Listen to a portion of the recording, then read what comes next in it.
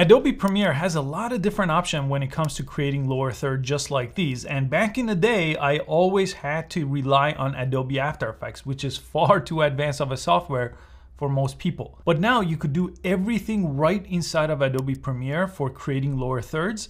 And I also put a free trial link below to Adobe Premiere Pro if you wanna follow along and you don't have Adobe Premiere Pro. And at the end of the video, I'm gonna give you another resource for much more advanced lower third graphics that are fully animated and fully customizable. They take about 20, 30 seconds to customize. You could download them as these things called MOGRT files that you just drop into Adobe Premiere as a template.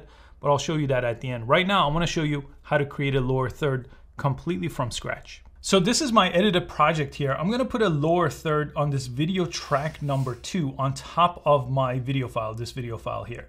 So in order to do that, the first thing I typically like to do is I like to turn on these things called safe margins. If you press this wrench icon here, you have something down here called safe margins. Basically, this gives you a line to figure out where your lower third graphic should be. By design, and typically most people that create graphics, they put the lower third right over here on the bottom left of the screen. So that's what I'm gonna do, and you typically put it inside of this line right here. So in order to create a lower third, first you do text. So to do text, I'm gonna choose the text tool over here, or you could just press T on your keyboard. And then it's typically two lines. The first line is gonna be your name, so I'm gonna put my name here. The second line is typically a title. So name and title. Now I could go ahead and just select this right here. And if I go over here, let me hide myself from this panel. So right over here, there's a text panel under effect control. So if you go over here, you could change the fonts. So I'll go ahead and do that. So let's do a simple font like Arial Bold here. I could change the size if I want to over here. And typically I'm gonna select the second line and make it a bit smaller. In fact, a lot smaller. Maybe there.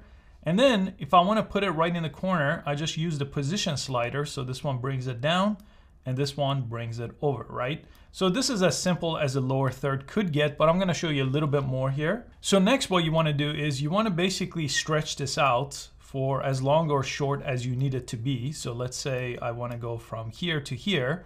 This is just like any video track. You could basically edit it the same way. And then next, what I wanna do is I wanna actually put kind of a rectangular background. So if you come over here under graphics and title and new, there's this thing called rectangle. You could choose it and it's gonna give you this rectangle here. And then under FX control, you get a shapes panel. So I could actually change the fill color of this. So let's go ahead and change it to maybe a red here. I'm gonna press okay. And then I'm gonna choose the move tool here. That's the keyboard shortcut V. And then I could just move this on top and then stretch it out to cover my text. And then if I go over here, all I have to do is make sure this shape layer is under the text layer. So I just grab it and bring it down. So now the text is on top and shape is in the back, okay? And then you could obviously change the shape any way you want. You could even drop a shadow to it. So let me go ahead and press play here.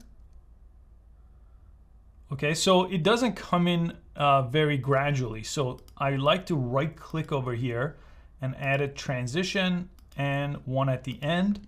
So now it's gonna fade in, and then when it's done, and if I decide it needs to be actually shorter, it's gonna fade out just like that. Now that's how you create one from scratch. But let me show you these animated lower thirds that you could just download. I'll show you exactly how to bring them in, how to search for them, and how to customize them too. And this is typically what I end up doing because these are just much more advanced and they take even less time than creating them from scratch.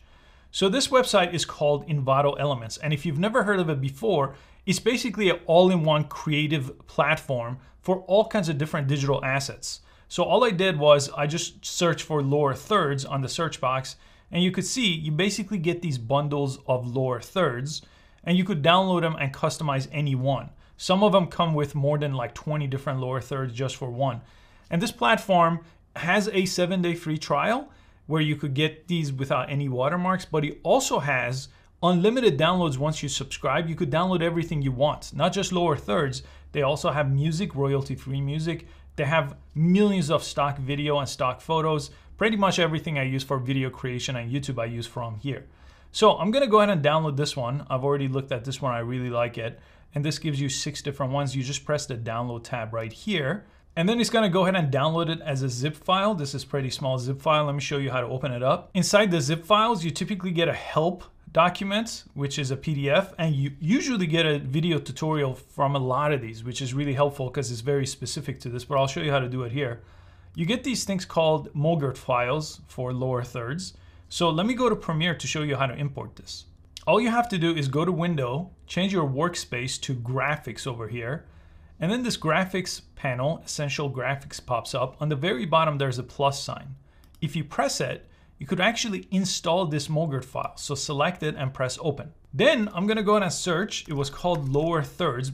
I just happen to have a lot of these, so I do have to actually search to find the right one. And if I go to the bottom, I should get the latest ones, which is this one right here. I'm gonna bring it over here. Let me delete this other one and I'll just work with this one. I'm gonna put this in place of the other one here. And look how simple this is it's already putting it sort of where I need it to go, right? So I don't even have to move this around yet. But to customize it under Essential Graphics, pretty much right here, I double click, type my name, right? That's the first line. And then my title, right? I go over here and type that in.